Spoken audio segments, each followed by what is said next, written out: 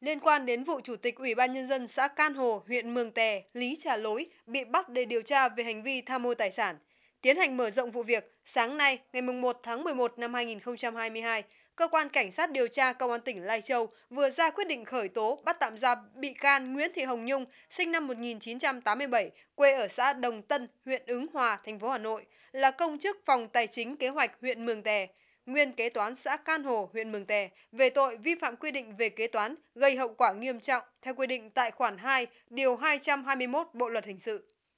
Căn cứ kết quả điều tra, xác định năm 2020, Ủy ban Nhân dân xã Can Hồ được giao là chủ đầu tư dự án hỗ trợ 82 hộ khó khăn thuộc chương trình Mục tiêu Quốc gia xây dựng nông thôn mới với tổng mức đầu tư là 306 triệu đồng. Trên cương vị là kế toán Ủy ban Nhân dân xã, mặc dù biết dự án chưa triển khai thực hiện, chưa phát tiền hỗ trợ cho 82 hộ dân thuộc đối tượng thụ hưởng, nhưng do cần chứng từ để quyết toán dự án, Nguyễn Thị Hồng Nhung đã lập một bộ hồ sơ khống, ký giả tên người nhận tiền trên danh sách chi trả hỗ trợ để trình cấp có thẩm quyền quyết toán dự án. Hành vi của Nguyễn Thị Hồng Nhung đã gây thiệt hại ngân sách nhà nước với số tiền hơn 306 triệu đồng. Trước đó, ngày 13 tháng 10 năm 2022, Cơ quan Cảnh sát điều tra Công an tỉnh Lai Châu đã ra quyết định khởi tố vụ án, khởi tố bị can đối với Lý Trà Lối, Chủ tịch Ủy ban nhân dân xã Can Hồ, huyện Mường Tè về tội tham ô tài sản theo quy định tại khoản 2, điều 353 Bộ luật hình sự.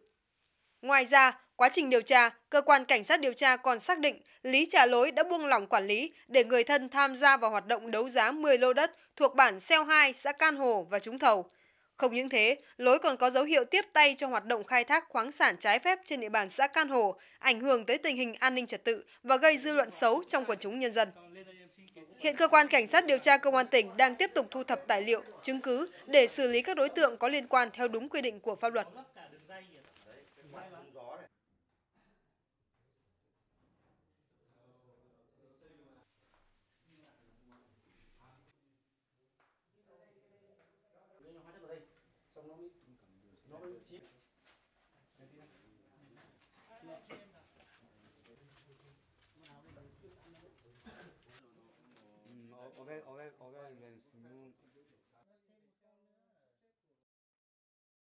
Nghiền cái gì? Còn chỗ này thịt rồi đúng không?